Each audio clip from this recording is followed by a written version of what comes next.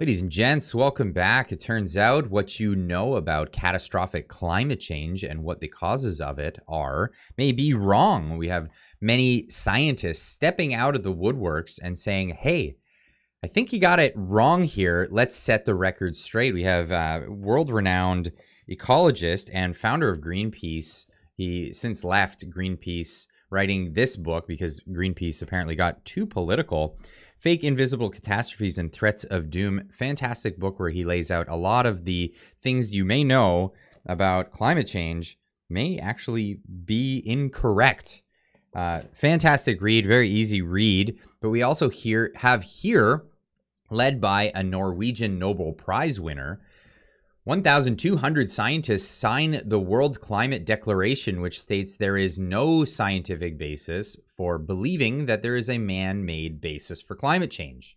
Now, before we get into this article, I wanted to point out hey, well, Steven Spielberg has been going on about global warming, saying, I'm terrified, so terrified that he burnt $116,000 worth of fuel in his private jet since June since June.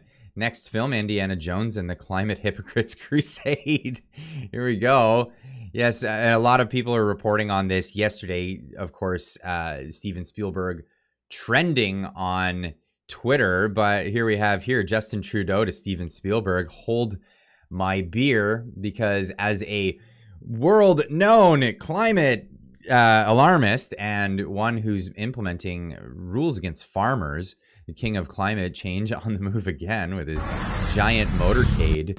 Uh, many, many, many, many, many cars. You can't drive or travel alone. Well, I mean, when you threaten that many people's lives on a daily basis, it seems you have to have an entourage wherever you go. But here we go. True North reports back uh, at the beginning of August, Trudeau spent more time in the air in July than all of last summer.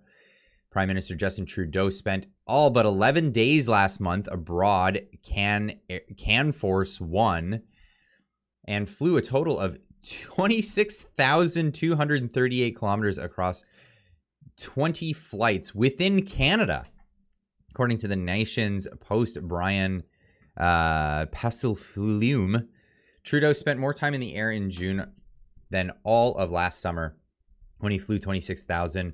59 kilometers, which included a G7 and NATO summit abroad.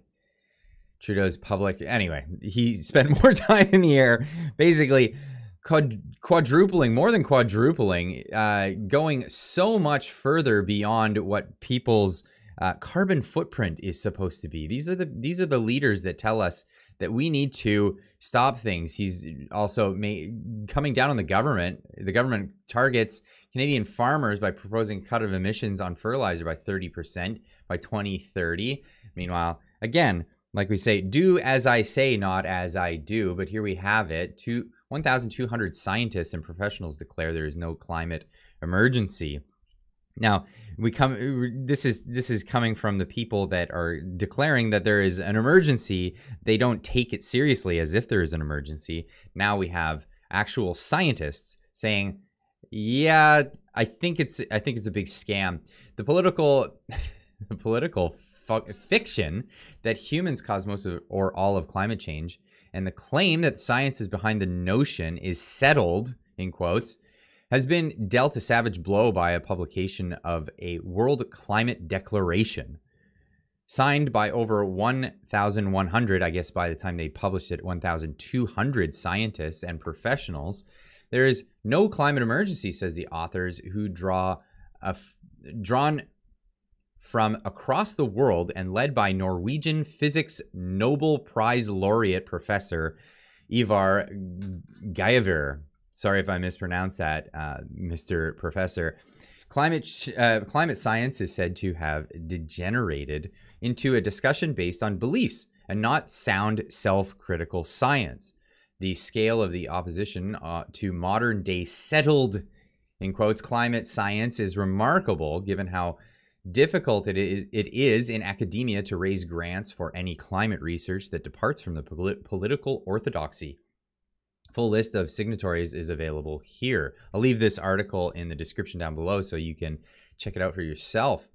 Another lead author, another lead author of the declaration, Professor Richard Lindzen, has called the current climate narrative absurd, but acknowledged it, acknowledged that trillions of dollars and relentless propaganda from grant-dependent academics and agenda-driven journalists currently says it's not absurd particular ire in the WCD, the uh, World Climate Change Declaration, or sorry, World Climate Declaration, uh, is reserved for climate models. To believe in the outcome of a climate model is to believe that believe what the model makers have put in it. Climate models are now central to today's climate discussion, and the scientists see this as a problem we should free ourselves from the naive belief in immature climate models, says WCD. In the future, or in future climate research, must give significantly more emphasis to empirical science. So, in other words, they're saying that the the models that they've been using to declare these climate emergencies, these climate climate catastrophes, ha- are flawed, and they've been making inaccurate predictions. I mean, we we all know that uh, the the predictions of the past, where all of the uh, eastern seaboard was supposed to be underwater by 10 years, 20 years ago, did not come to fruition. But yet, we're to believe that the models, we should still trust the models and we should still go based on these outdated models that don't don't actually accurately predict the future. If you can't accurately predict the past, we're not accurately predicting the future. This is it, would be it'd be insanity to believe that we could uh, do the same thing over and over again and expect different results.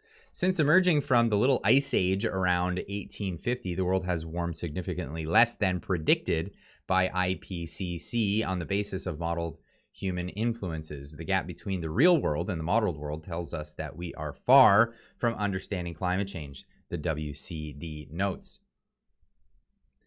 The declaration is an event of enormous importance, although it will be ignored by the mainstream media, and that's why I'm putting it out here on this channel because I tend to cover stories that get widely ignored by the mainstream media that are important to everyday people's lives but it is not the first time distinguished scientists have petitioned for more realism in climate science. In Italy, the discoverer of nuclear antimatter, uh, sorry, I'm going to have a hard time pronouncing this, Emeritus Professor Antonio Zichichi, recently led 48 local scientists, professionals in stating that human responsibility for climate change is unjustifi- unjustifiably exaggerated and catastrophic predictions are not realistic. In their scientific view, natural variation explains a substantial part of global warming observed since 1850. Professor Zichichi has signed the WCD, the uh, World Climate Declaration.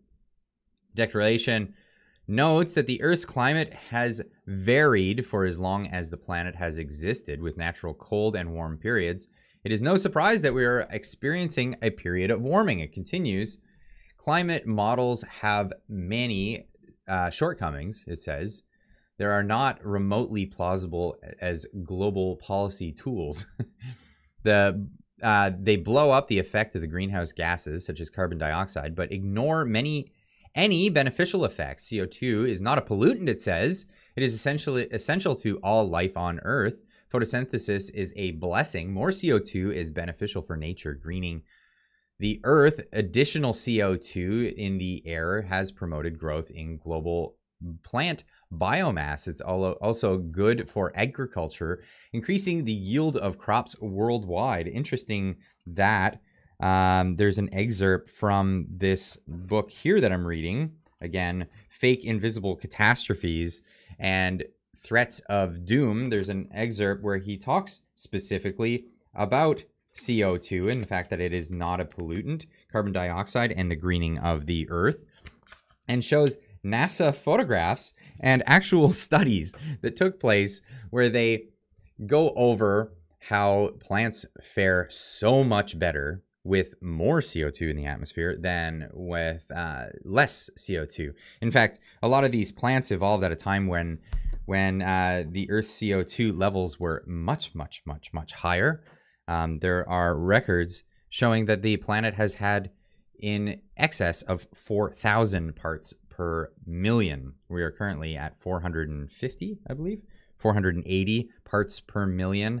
Uh, they're saying that is too much. But what is too much is the question being raised here. Uh, what is the perfect uh, climate? The Earth has seen many, many climates. Uh, what is the perfect climate for the Earth?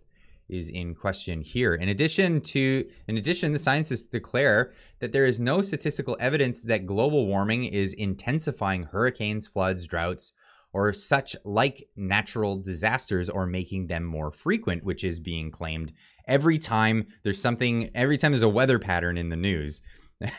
I'm sure you've all heard it. Uh, there's more forest fires. That's because climate change. Oh, there, there's been uh, a couple of storms this year. Oh, that's because of climate change.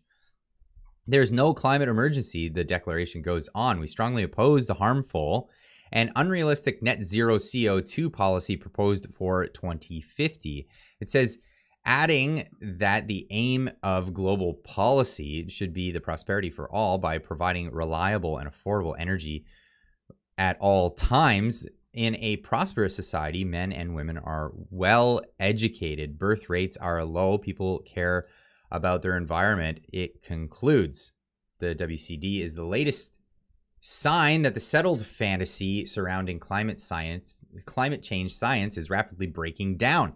Last year, Steven Koonin, an under an undersecretary of science in the Obama administration, published a book titled Unsettled, in which he noted that the science is insufficient to make useful predictions about how the climate will change eh, over the coming decades, much less what our actions will be. He also noted that rigidly pr- promulgating the idea that climate change is settled de- demeans and chills the scientific enterprise regarding its progress in the important matters. Actually, that that's really true. To to put this much emphasis on science when it fails, when it fails, people will not believe in science, period. And uh, not that you should believe in science, but people will not trust scientists in the future. And we don't want to do that. We don't want to destroy institutions because of political gains in the moment. The 2020 long term green activist Michael Shellenberger wrote a book called Apocalypse Never, in which he said he believed that the conversation about climate change and environment had, in the last few years, spiraled out of control much of what people are told about the environment, including the climate, is wrong, he wrote. Of course, green extremists, academia, polit- politics, and journalism will continue to argue that the for the com- command and control they crave through net zero policy. In the end, their rap- their warped view of the scientific process will fade, leaving a trail of ludicrous Armageddon forecasts and yet more failed experiments in hard left econom- economic and social societal control. Amazing, amazing article here. But hey, let's leave it up to you guys in the comment section down below.